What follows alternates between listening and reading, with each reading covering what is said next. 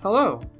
This video will show you how to prepare the new, shorter, simpler Justice of the Peace and Constable sworn financial statement reports for the Louisiana Legislative Auditor's Office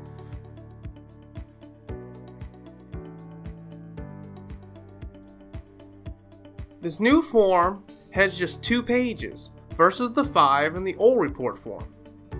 The first page of the new form is the affidavit.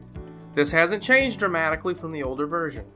The top portion of the form needs to be filled out with your information including your name, your ward or district and parish, your physical address, your telephone number, and an email address.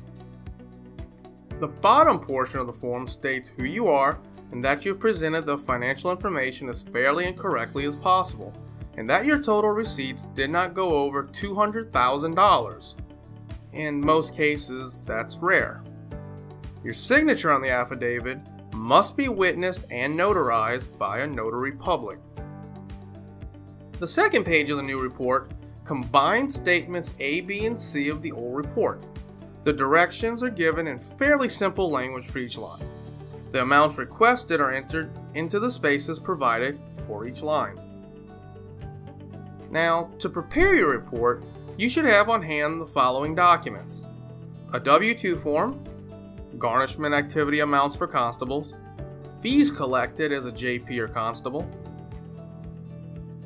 conference expenses and reimbursement amounts, and any other documents for the year. In this box here, you put the amount from your W 2 form, box 1, for justices of the peace or constables. If you collected any garnishments, those collections go here for constables who had such activity. Any amount of garnishments you paid out to others, meanwhile, goes here. Here is a list totaling all fees collected from performing your duties as a justice of the peace or constable.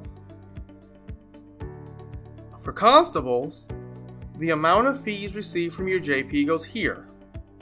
And if you're a JP, the amount paid to your constable goes here.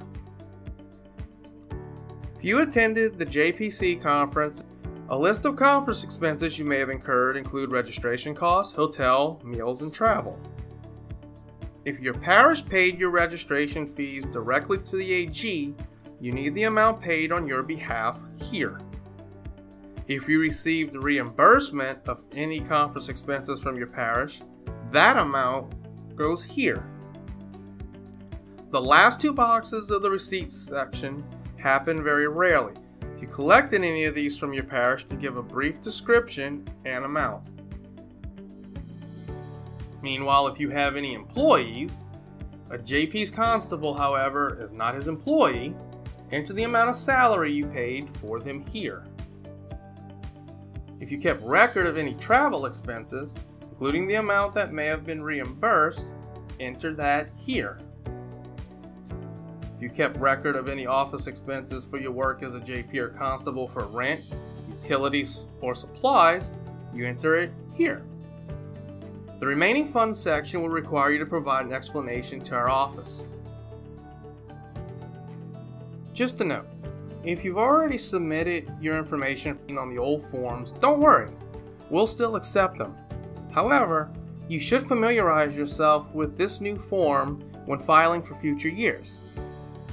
And if you have any questions about how to prepare this report, you can always give us a call at 225 339 3800.